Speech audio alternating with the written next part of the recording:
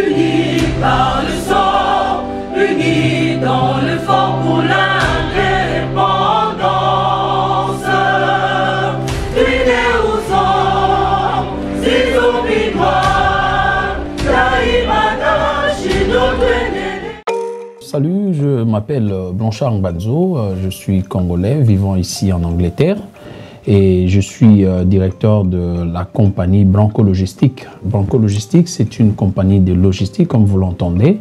Donc Branco Logistique, c'est une compagnie qui vous envoie, euh, qui vous transporte vos affaires from point A to B, meaning, c'est-à-dire euh, ça vous prend vos affaires du point a au point B. Nous exportons ici en Europe et nous importons au Congo démocratique. Nous avons des contrats avec des compagnies qui veulent acheter des affaires ici en, en- les véhicules, euh, euh, toutes sortes de véhicules vous voulez acheter en Europe. Et nous avons aussi de, de cartons de cartons spéciaux et, des cartons, euh, je vais dire, spéciaux. En fait, nous avons trois produits pour le moment. Nous, avons, nous travaillons dans le, dans le c'est-à-dire le, le fret maritime. Nous avons le air freight, donc le, fret aérien.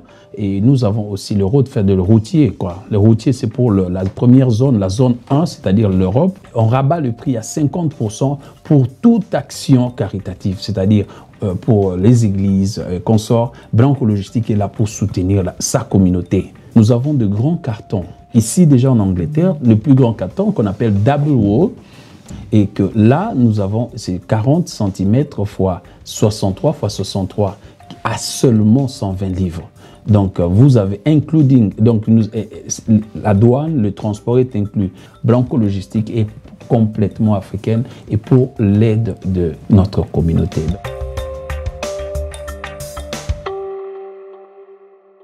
Mesdames, Mesdemoiselles et Messieurs, merci de suivre euh, Critique Info, premier numéro. Nous allons euh, effectivement continuer ou tourner autour de ce qui va se passer. C'est vrai, parce qu'en ce moment où nous parlons, le Premier ministre est en train de consulter, c'est ministrable bien évidemment. Il est en train de voir avec qui il va composer un gouvernement, avec qui il va composer euh, cette nouvelle bataille. Je- moi, j'appelle ça euh, je veux dire, un ensemble de bâtisseurs, finalement, ceux qui vont vouloir bâtir euh, ce pays, parce que c'est assez important. Il faut ne pas oublier que deux ans sont passés, donc il ne nous reste plus que trois ans. Si on enlève l'année électorale, donc pratiquement deux ans. Mais les grandes questions sont à, à- quand même à poser. Pr- Premièrement, posons-nous d'abord des questions sur les priorités sur les vraies priorités. Quelles sont les priorités? Je ne comprends pas. Il y a comme une sorte d'écart entre le peuple et les politiques. Pour les politiques, ils pensent, ils, pensent directement à, à- à 2023. Pour eux, il faut organiser les élections de 2023 parce qu'ils doivent revenir. Ils, pas, ils ne supportent pas ce moment, ils ne supportent pas euh, ces moments de, retraite forcée ou ce moment de chômage déguisé. Alors, le fait pour eux de ne pas se retrouver au pouvoir, ils veulent à tout prix qu'on organise les élections. Ceux qui sont au pouvoir ne veulent pas entendre parler des élections. Parce qu'à un moment donné, ils se disent on n'a plus les chances d'être réélus. Donc on doit se battre. Alors finalement, ce combat qui a deux têtes s'opère. Mais entre-temps, le véritable détenteur du pouvoir, c'est le peuple. Le peuple, lui, n'a que faire de vos élections. Tout ce que le peuple veut, c'est d'être bien. C'est de vivre en paix. C'est de vivre en harmonie. Ce que ce peuple veut, c'est avoir un travail, c'est avoir un logement. C'est savoir se déplacer. C'est avoir l'accès à la santé, l'accès à l'éducation. Être à l'abri de besoins. Au moins le minimum. C'est ce que le peuple a besoin. Mais les autorités, je veux dire les politiques, ne sont pas dedans. Les politiques vont tout droit vers les élections. Soit on aime les élections, soit on ne les aime pas. Mais en réalité, ce ne sont pas les élections qu'on aime. C'est le pouvoir qui découle des élections qu'on aime. Et ce pouvoir-là, ce n'est pas pour servir le peuple, non. C'est pour certainement couvrir les vides que le chômage a causés et couvrir les vides que cette retraite forcée nous a obligés. Et donc, devant cette situation, on se pose des questions. Est-ce que c'est ce que nous voulons avoir en réalité? Et moi, ça me pousse finalement à nous poser des vraies questions. Avons-nous véritablement besoin des élections ou on a besoin du social? Si on a réellement besoin du social, alors on va travailler dans le but d'avoir le social. Mais attention, je ne suis pas en train d'opposer les deux concepts. Je ne suis pas en train d'opposer les deux concepts. Je ne dis pas ici qu'on ne peut pas organiser, on ne peut pas construire un social parce qu'on est en train de construire des élections ou on est en train de les organiser. Non. Mais je me dis toujours, je trouve ça insignifiant et parfois insultant que tout un peuple se préoccupe que des élections et pas du social, pas du progrès, pas du développement, pas du travail. pas de la santé, pas des questions cruciales d'un pays. Nous avons dit qu'un pays peut vivre sans élection, mais un pays ne peut pas vivre sans le social, sans le développement. Notre pays est en retard, pas parce qu'on n'a pas eu des élections, mais parce que nous n'avons jamais eu de véritable politique de progrès. On n'a jamais eu de véritable politique de développement. On n'a jamais eu de politique véritable de santé. Jamais de scolarité et même de système éducatif. Jamais une politique correcte de travail et de rémunération. Du moment où vous n'avez pas ces, ces éléments-là, même si vous faites mille fois les élections, votre pays ne se développe pas. Aucun pays dans le monde ne s'est développé parce qu'il a organisé régulièrement des élections. Aucun pays. Mais même dans les dictatures les plus féroces, on a vu le niveau de vie était quand même assez élevé. En Libye, on a vu le PIB. En Libye, à l'époque de Kadhafi, pendant que la dictature était alors la, la plus sauvage, si vous voulez qu'on le dise comme ça, les Occidentaux, certains, appelaient ça une dictature de développement. Jusqu'aujourd'hui, la Chine ne s'égale pas avec la France en termes de démocratie. En termes de démocratie, pas du tout. Mais la Chine est un pays en voie d'émergence, en voie de développement. Le Brésil, parlons-en, ce n'est pas finalement une grande référence de démocratie. Et ça ne se limite pas forcément aux élections. Il y a beaucoup de choses qui se mettent en place pour travailler, ainsi de suite. Moi, je suis un démocrate. Au départ, je suis un démocrate, mais c'est vrai, pas un démocrate comme euh, bon, à l'occidental, mais je suis quand même un démocrate. Le problème avec moi, c'est que ne détruisons pas les tissus sociaux N'évidons pas tout l'argent que, le pays peut avoir pour développer le pays, justement pour organiser des excursions électorales que vous, vous appelez des élections, qui finissent par ne pas avoir des bons résultats. Les, c'est finalement une sorte de remaniement et tout, et puis après, on ne comprend plus rien. Mais je pense humblement que si nous voulons véritablement un pays développé, alors nous devons mettre, poser des vrais jalons et nous poser des très bonnes questions. L'argent dans ce pays, on l'a. C'est pas qu'on n'a pas d'argent. On a l'argent. On n'a même pas besoin de mobiliser une année pour chercher l'argent. L'argent, ce qu'on demande aux élections, c'est très facile pour l'avoir. Très facile pour l'avoir. Et le problème n'a jamais été l'argent. Ça, je peux vous le garantir aujourd'hui. Le problème n'a jamais été l'argent pour organiser les élections. Le problème a toujours été l'âme électorale de ce pays. La motivation avec laquelle on organise les élections.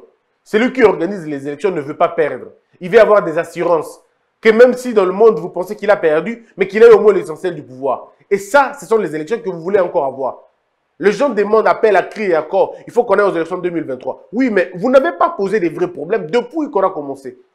La question de la CENI continue à diviser. Nous ne savons toujours pas ce qu'il faut continuer avec la CENI ou il faut rendre les élections au niveau de, du ministère de l'Intérieur. En même temps, vous voulez dire une chose et son contraire. Les gens vont dire non. Même en Afrique du Sud, il y a une commission électorale indépendante. Depuis quand le Congo pour l'Afrique du Sud, par exemple? Depuis quand nous prenons l'Afrique du Sud, pour exemple? Parce que pourquoi? Pourquoi nous, nous ne devons pas être l'exemple de l'Afrique du Sud? La fiabilité d'un État, la confiance qu'un État a par rapport à son peuple, c'est justifié aussi par la confiance que le peuple lui fait pour organiser les élections. En France, aux États-Unis, partout, c'est les départements intérieurs ou le département, le ministère de l'Intérieur qui organise les élections. Et dans beaucoup d'autres pays d'ailleurs, c'est l'État qui organise les élections. Lorsque vous vivez dans un pays et que l'État ne sait plus rassurer, l'État ne sait plus faire, on ne sait plus faire confiance à l'État. Les gens acceptent même d'avoir une institution qu'on va appeler institut de développement ou tout ça, ou on va appeler ça institut, institution d'appui à la démocratie. Je ne comprends pas. C'est les concepts que nous avons imposés en Afrique et on a cru en ça. Institution d'appui à la démocratie. Qu'est-ce qui va appuyer la démocratie si ce n'est pas la tolérance, si ce n'est pas la, conscience, si ce n'est pas le patriotisme? Les citoyens devraient en principe faire confiance à l'État. Mais si, si la confiance entre les citoyens et l'État est rompue, ben, ça veut dire qu'il y a une défaillance. Il y a une défaillance. Alors, au lieu d'amener des crics, apporter des solutions directement, apporter des solutions profondes et radicales. Posez-vous des bonnes questions. Si ça sert à quoi à organiser vos élections dans ces conditions-là? Je préfère d'abord travailler sur base de la confiance, redresser, recréer d'abord la confiance entre le citoyen et l'État Ensuite, vous allez confier à l'État la responsabilité d'organiser les élections. C'est aussi simple que ça. Je ne vois pas pourquoi les gens euh, s'affolent. Et là, simple. Ce que nous refusons, c'est que il faudrait faire en sorte que ceux qui gèrent l'appareil de l'État soient des personnes consciencieuses, des personnes honnêtes, qui ont un peu du bon sens. Et même alors, si on organise les élections, laissons à ce que les politiques n'organisent pas des élections. que ça soit effectivement le département de l'intérieur. Ça veut dire l'administration. Parce que l'administration, elle est supposée être apolitique. Mais maintenant, vous, lorsque vous mettez vos histoires, le président de la CENI est d'une confession religieuse qu'on connaît, le vice-président est d'un parti politique, ainsi de suite. Mais comment voulez-vous? Vous avez 400 partis politiques et c'est parmi les 400, un seul parti politique a obtenu la vice-présidence. Mais qui ne nous dit pas qu'ils vont se, ils vont, ils vont vont se partager les, le quota? Qui ne nous dit pas? Et nous connaissons tous la mafia qui s'organise là-bas. Donc, si nous voulons organiser véritablement des élections, créons des institutions qui vont apprendre à nos enfants, qui vont apprendre à nos frères, à nos sœurs, quelques notions des bases sur l'élection. Après, à côté, vous mettez votre, vous, développez le civisme électoral. Parce qu'il faut préparer le peuple à voter. C'est ça que moi j'appelle le civisme électoral ou bien la citoyenneté électorale. Il faut que quelqu'un comprenne, je vais aux élections pour faire quoi exactement? Pour qui je vais voter? Pourquoi je vais voter? Quand je vais voter? Où je vais voter? Comment je vais voter? À ces cinq questions, si on répond facilement, vous avez déjà un bon, un bon citoyen qui comprend les enjeux. Vous ne faites rien pour combattre le vote tribal. Vous ne faites rien pour combattre le vote ethnique. Vous ne faites rien pour combattre le vote religieux. Vous ne faites rien pour combattre le vote du favoritisme et le vote du populisme. Vous ne faites rien pour combattre ces fléaux-là. Mais vous êtes prêt à dire allons aux élections, allons aux élections. Mais c'est pourquoi? Donc vous savez au moins, c'est vous qui êtes outillés à ce, jeu-là. Et nous autres qui ne sommes pas outillés à ce jeu, nous partons défavorisés. Alors, créons des conditions bien pour que tout, le monde ait à le rassurer biso tout le monde que le cycle électoral eza mabe biso tout le monde que ah, l'âme de la république oyo esalaki tosala baélection eza malamu te mais il y a quand même quelques acteurs qui ne regardent que ça. Donc pourquoi bozosenga bo tokende élection? Soki boyebi bajeune na bino bosalaka yango bongo. Parce que aza honnête aza sérieux ako permettre te tokende baélection na bacondition oyo ou alors nous allons faire des excursions électorales? On va juste s'amuser passer le temps et puis voilà on passe. Les vainqueurs sont élus ailleurs parce que si réellement l'enjeu électoral se passe dans l'urne, alors on doit prendre tout le sérieux du monde. Nous devons être sérieux. Moi, je suis de l'école de ceux qui pensent qu'il faut dissoudre la CENI. Je pense, je suis de l'école de ceux qui pensent qu'il faut dissoudre la CENI et remettre le, les prérogatives de la CENI à l'État congolais, au ministère de l'Intérieur, au département électoral. Je crois que ce n'est que de cette façon-là que l'on peut réussir à fiabiliser l'État et à faire de l'État le seul, la, la, seule garantie de la confiance. Et que les animateurs de ce département-là ne soient pas politiques. Que ce soit des hommes et des femmes qui sortiront de ces instances-là. Ça veut dire que Moutou atanga bakambo élection, atanga makambo élection, atanga ba mode, atanga makambo tout, zalaka. Au moins avec des gens pareils, ça peut nous aider. Mais tant qu'on n'aura pas construit la confiance nationale, Tant que nous allons continuer à vivre dans le mépris, dans le doute, dans les accusations et dans les excuses, on n'aura jamais de bonnes élections. Monsieur Samalou Konde, Premier ministre, vous entendez les voix s'élever? Non, monsieur Samalou Konde, vous n'avez qu'une seule mission, organiser les élections. Est-ce qu'on peut comprendre ça? Et puis après, vous serez le premier à lui dire, non, monsieur, bilan de Oh, mais vous-même, vous nous avez demandé de n'organiser que les élections. Donc, Batouba Koufa n'a pas plutôt talibangote. Babalabale Tonga, mais talibangote. Banaba Kenegla, c'est talibangote. Gratuité, enseignement, ce n'est pas leur problème. La sécurité à l'Est, c'est un problème à bangote. Bango va organiser quatre élections. Est-ce que vous êtes sérieux quand vous opinez dans ce sens-là? Donc, vous pensez vraiment qu'une femme qui est à l'hôpital maintenant, qui ne sait pas comment s'en sortir, parce qu'il n'y a pas de soins, elle a besoin d'abord des élections avant sa santé. Donc, les parents qui sont aujourd'hui à la maison, qui veulent envoyer leurs enfants à l'école alors qu'ils n'ont pas de moyens, vous pensez que ces parents-là, eux, ont besoin des élections et pas que les enfants vont partent à l'école? Non, essayons un peu, s'il vous plaît, de revenir à la raison. De revenir à la raison. Ça fait très longtemps que nous continuons à croupir dans la, dans la prairie de la bêtise parce que, un peu comme si on veut se nourrir dedans. Je ne suis pas contre les élections, mais je suis contre les élections des façades. Je m'oppose aux élections de pacotille. Je m'oppose aux élections qui ont un corps de remaniement. Je m'oppose aux, élections bidonnes. Je voudrais avoir des élections qui vont promettre effectivement, qui vont transpirer la volonté du peuple. Il faudrait que celui qui part voter soit rassuré au moins à 80% que son élection, son, son, son candidat va passer. Ou alors, si son candidat ne passe pas, qu'il soit lui-même convaincu nous voulons avoir ça. Mais on ne peut pas aller comme ça, comme si on était en, train d'aller dans, un abattoir. ba politicien balingi tosala élection parce que bamoni ke vi na bango ekomi bafandi mwa mingi longtemps na chômage baleloko mosusu asala te mpo na bango la seule façon ya kokɔta na pouvoir eza koorganize baélection ya pakoti oyo bazalaka nango wana. Oyo bayebaka ke bakenda kofuta mbongo na seni mpo na babimisaka bango. Oyo bayebaka ke bakendaka koluka moto tel moto tel aluka bango akomisela bango pouvoir. Mais bato oyo mpenza bayebi ke baza na contact moko na seni et que le seul rendez-vous d'un candidat ce n'est pas de fréquenter la seni mais de fréquenter les électeurs. Bato modèle wana bakosenga élection sikoyo te bana posa nango kutu même pas na minute. Bango baza na besoin d'abord que le processus soit exorcisé nous, nous avons besoin d'abord d'exorciser le cycle électoral. On ne peut pas prétendre aller aux élections. Ceux qui vont réparer dans nos systèmes mobimatés. Pourquoi êtes-vous pressé Qu'est-ce que les trois élections ont fait dans notre pays? Tout le monde pose la question. Tout ça, libre élection trois fois déjà. Depuis Kabila, trois fois on a organisé les élections. Ça produit quoi? Ça produit des faibles au sommet de l'État. C'est tout ce que ça produit. Qu'est-ce que ça produit encore? Ça nous a produit une imbécilité collective où on a remplacé l'Assemblée nationale à des familles et à des familles. C'est ça le cycle électoral que nous avons apporté. Bana na bango bakomi ba suppléant, cousin suppléant, c'est ça qu'on nous a apporté. Et nous voulons continuer dans le même modèle. Nga naza député, na kosi député nzoka ndena na ministre, et oh suppléant nanga mwasi nanga, yami bale mwana nanga mwana nanga bundi pe na zui pe sena, na. Kuna pe na sena na tie beau frère na tie na grand frère nanga. Et ngai on na bandi ko bundela comme ministre. Na comme ministre, donc natiki famille mobima na l'Assemblée nationale. Donc si l'Assemblée nationale a 500 élus, on va dire moi la, la moitié d'entre eux balukaka moi babima na l'Assemblée.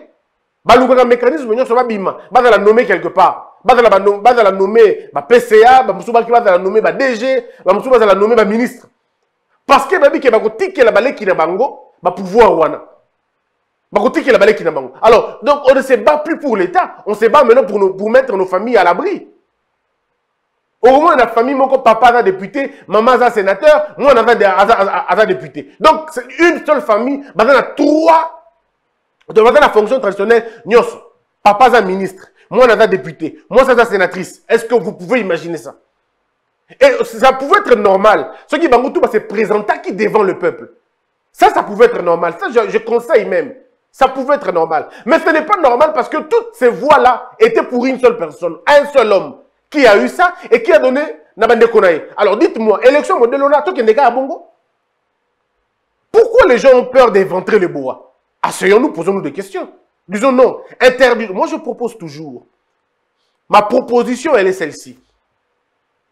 Interdisons aux députés, à un candidat, de postuler dans deux, dans deux endroits. S'il postule dans Sénat, na, na, pardon, na national, a sur la provincialité, a postulé pour la Sénat du Souté. S'il postule la provinciale, parce que c'est un contrat. Quand quelqu'un vient vous dire, bon, votez la Bino. Mais alors, c'est un contrat qui vous lie avec ces gens. Alors, nous ne voulons pas avoir de l'escroquerie électorale. Tu dis que et après, comme une hémicycle Longwe, ou comme ministre. Mais le peuple ne t'a pas envoyé pour être ministre. Le peuple t'a envoyé pour parler de lui. Yo comme kuna na ba manigance na yo na ba arrangement personnel na yo, yo comme ministre. Et le peuple qui t'a élu alors? Les gens vont me dire non mais Christian ça se passe même aux États-Unis même en France, le bien reste le bien même si tout le monde ne le fait pas. Et le mal reste le mal même si tout le monde le fait. Vous devez comprendre que la vérité ne se voit pas à travers les, lunettes de l'Occident. Non. Seulement, vous devez savoir qu'il y y, a, un deal. Le deal entre le peuple et le, candidat, c'est que ce deal, c'est un deal de moyens. Le député doit faire des choses pour lesquelles il va voter là qui est. Il ne peut pas partir. Qui suppléant, le suppléant qu'on n'a jamais vu. Faisons en sorte aussi que le temps que nous là, qu'on battre campagne, battre campagne, peut suppléant, au moins que le peuple aille, que suppléant dans moi si, et, sur le deuxième suppléant, moi, euh, moi, moi, moi, que ce peuple-là est bango. C'est ça aussi la transparence. La transparence électorale n'est pas que tout le monde va voir. La transparence électorale aussi, c'est de nous dire en amont qui est ton suppléant numéro 1, qui est ton suppléant numéro 2. Nde bokomona sikoyo suppléant na yelaki mwasi na ye ya mibale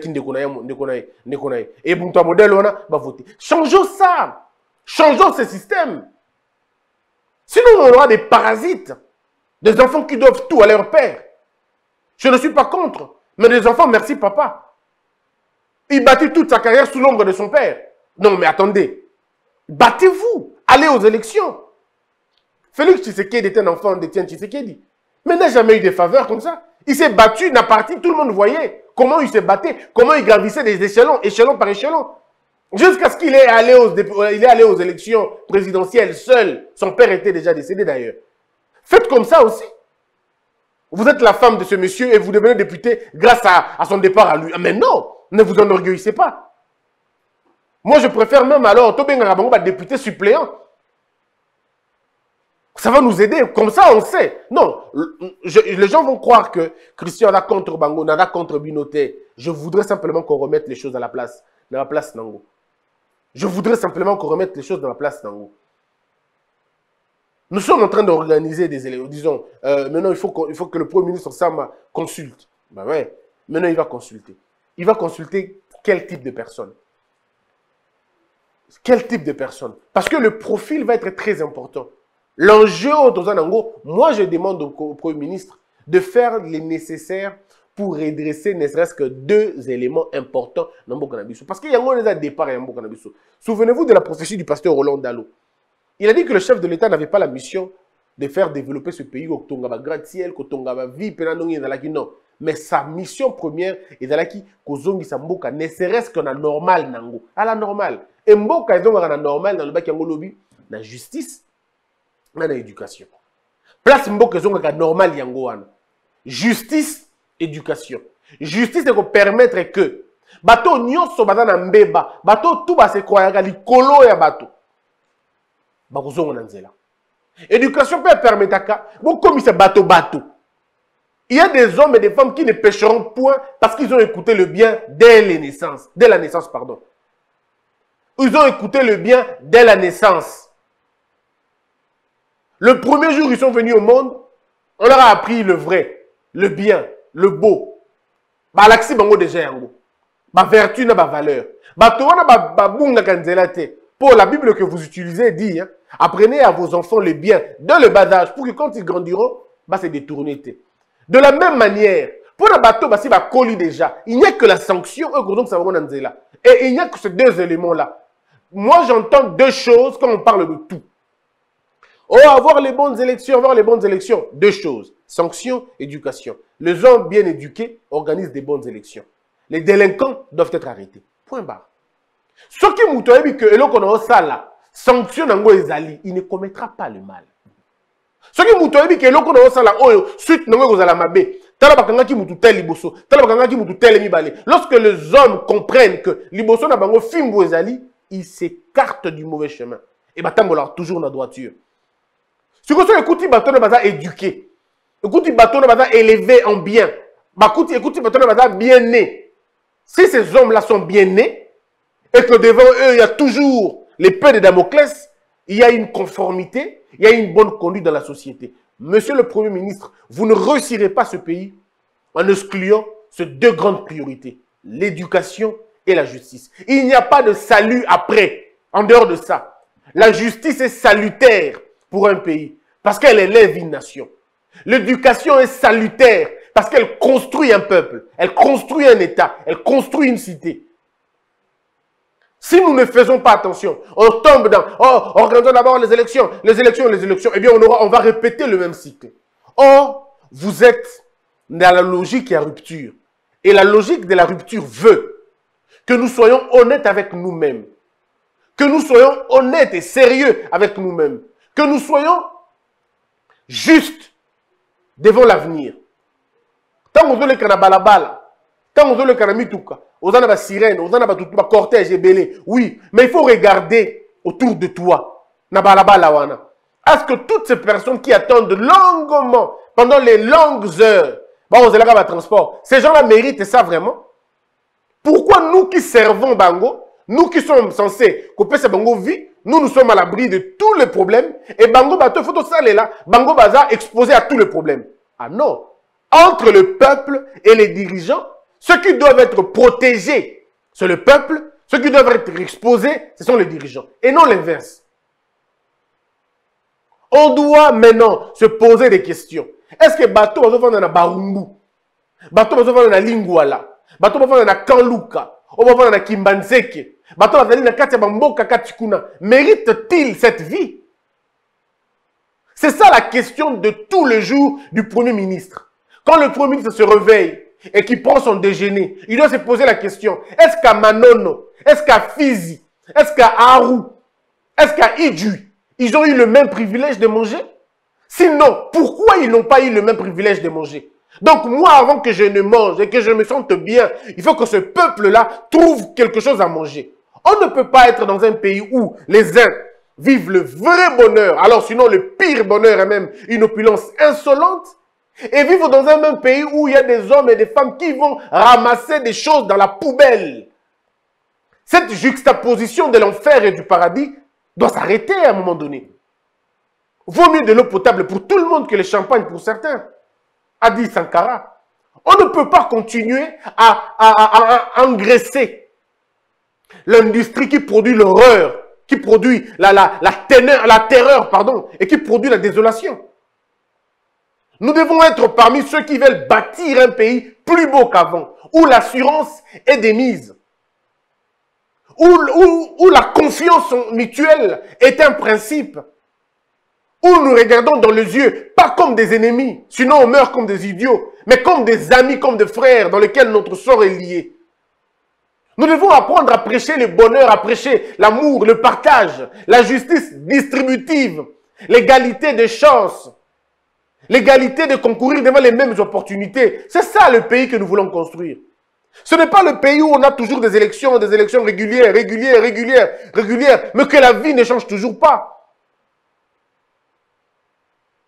N'oubliez pas que les élections ne durent qu'un jour. Hein. Un jour, le vote, ce n'est qu'un jour. Hein. Mais la vie, la conséquence de ces élections-là, c'est cinq ans. Et il y a des conséquences qui vont au-delà de ça. Arrêtez de distraire le Premier ministre avec vos discours politiques stériles. Le Premier ministre l'avait si bien dit. La plus grande priorité en ce moment, c'est l'insécurité. C'est apporter la sécurité à ce peuple. Mais là encore, je veux dire, la sécurité, ça se réfléchit. La sécurité, c'est un concept scientifique. Ça se conçoit scientifiquement. Or, il n'y a pas d'émergence sans la science. Or, il n'y a pas de science sans éducation. Ceux qui sont auteurs de cette insécurité sont au pays. On le connaît. C'est eux qui doivent être châtiés. C'est eux qui doivent être sanctionnés. C'est eux qui devraient être finalement poursuivis. Voilà pourquoi je dis, je continuerai à le dire, sans la justice, sans l'éducation, il n'y a pas de développement. Il n'y a pas de développement. Tout ce que vous dites, c'est bien. À l'élection 2023, c'est bien. Mais sans éducation, sans justice, on n'aura rien fait. On n'aura rien fait. Donc moi, j'invite le Premier ministre à faire un bon gouvernement. Et moi, je dis, il a tout mon soutien en ce moment. Tout mon soutien. Toutes les chances du monde, nous ne pouvons que le lui donner. Ne, suivez pas ces manipulateurs qui n'ont rien à dire qu'à distiller des, mensonges et des, contre-vérités. Maintenant, il est burundais. Est-ce que vous imaginez ça? Maintenant, il est burundais. Maintenant, il est Kagame. Maintenant, il est des Kagame. Est-ce que vous comprenez comment les gens sont à un moment donné malades? Est-ce que vous comprenez comment les gens sont à un moment donné malades? N'attendez rien, ne faites pas ceci. Quand vous dites n'attendez rien, vous vous, dites, vous vous focalisez sur quoi? Cher émissaire rwandais. Vous voyez comment les gens sont? Quand on n'a plus d'arguments et qu'on est conduit que par la haine, on est, on est conduit que par la méchanceté, on est conduit que par, le, par, par, par, une mauvaise foi. Et ça peut se voir dans les yeux de ces gens-là. Regardez, regardez ces gens-là dans leurs yeux. Vous comprendrez qu'ils sont foncièrement méchants, ils sont foncièrement mauvais. Ils n'ont pas d'autres arguments de toutes les façons. Ils ne peuvent pas, dans un terrain d'argument, euh, opiner. Parce que sachez une seule chose, hein, ceux qui jugent beaucoup sont des gens qui n'ont pas de raison. C'est des gens qui n'ont pas d'argument. Voilà pourquoi ils sont prêts à juger. Nous, nous prions tous les jours que Dieu aide ce pays à se développer. Et nous avons la ferme, nous avons la ferme conviction que les choses vont très bien se passer. Ce que vous devez retenir comme info maintenant, ce que le Premier ministre est en train de consulter. Il a rencontré Batu Lukwebo et Batu Lukwebo lui a donné les éléments au niveau de la configuration, au niveau de l'Assemblée nationale. Et comme je l'avais dit, le gouvernement va se passer comme ça, selon les accords qui vont être faits dans les partis politiques, et ainsi de suite. Mais ne vous en faites pas, le chef de l'État, président de la République, a son propre quota à lui. Son propre quota est là. Et je suis très content, parce que moi, j'avais demandé au président de la République de ne pas nommer un poulain de quelqu'un. Et il m'a écouté. C'est là que je dis que je suis très heureux d'avoir un président qui écoute. J'avais dit chef de l'État kono kocha mutu ya bemba te, kocha mutu ya katumbi te, kocha mutu ya, ya te. Soki bango moko te, kocha mutu. Et effectivement, ça s'est passé exactement comme ça. Il prend quelqu'un qui n'est ni de l'un ni de l'autre, quelqu'un au yemo yebi à sali bongo. C'est la même chose, monsieur le président, pour le ministère régalien. Eza lolenge moko monsieur le président pour le ministère régalien tobakisi mpe na ministère ya enseignement. Nazongisi nakotisi yango parce que eza très important pour moi. Ministère ya enseignement na ministère ya justice. Tokangi yango na kote oyo tozongaa nango nakomisa yango na ministère oyo naotia yango lokola ministère régalien de façon que chef de l'état apesa yango na moto te. Apesa yango na bato. Oyo ye parce que vie eza wana. Makambo ya este makambo ya este evai na ministère ya défense. Secret eza kuna. Solution eza kuna eza kuna na ministère ya justice.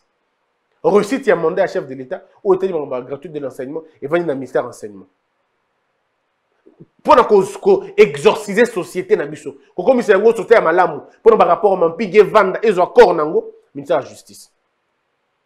Mpona makambo ya bakimia ezala oyo batribu emataki esalaki ekendaki ezongaki ministère ya intérieur sikoyo na makambo wana nyonso pour que mbongo ezala fina, finalement ministère ya finance eza biloko chef akopesa na moto te non il peut pas donner aux gens. Parce que c'est des ministères oyo kopropulse ye na 2023 yango nde kozala bagage na ye quand le chef de l'état dira ntango nakutaki baliwa ezalaki par centaine par jour mais tala lelo tobundi tobundi tobundi totikali na ba 2 3 4 ou même esili c'est grâce à notre travail. Tala tokutaki mbongo ezalaki okota na mboka ezalaki okota autant mais tala depuis biso toye tala ndenge mbongo ekomi okota maintenant. Pour grâce na ministère ya finance ministère ya enseignement, ya enseignement tokutaki bana baki kotanga te.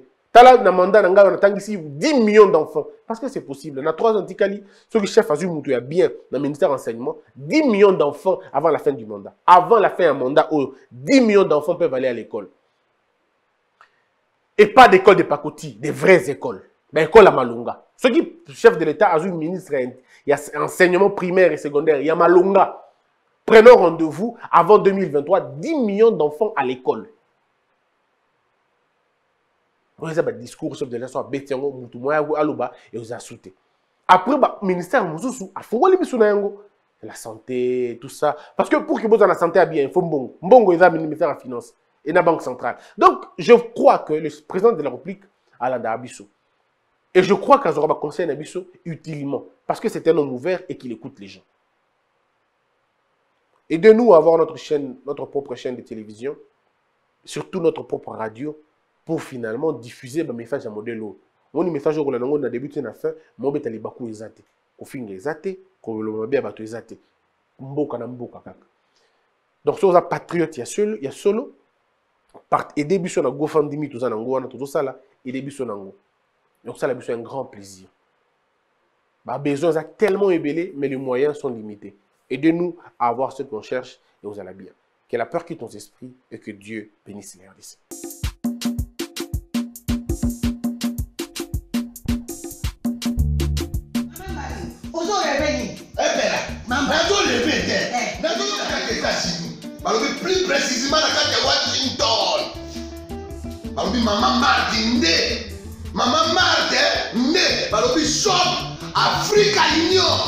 ezoteka nyonso biloko ya nini yo congolais. Olingi ndeko na yo asalisa yo te mpo na kolia na yo. Moko babondela yo mpo na nzoto na yo bakoya elei mpo mpo babondela yo. Balobi bio bio afrika union. Ezoteka totakola na basinois sino kolia mpe ya sino kolia nini ndeko na yo azoteka azoteka biloko ya mboka. Ya fresh Ya- bio eh. bio na bio Bio na bio. yo mama mbayo kuna monkanja ezali balobi nzomo eyali enkuba baliwa balobi enzenze ezali zakombaka ngai na eso ya mboto ya mbisi eza balobi nyama ya motunya mokomboso ezaga te tala ngando ndenge alali na basi. Eh, oyebi ke na sutu. Eza kolia na peti mpo mama mande ya solo mpo bato comprendre te mawa bacongolais ou alo nu uaronu mpo na kolia na bino moko bakolela bino réunion kolia na apeti nzongo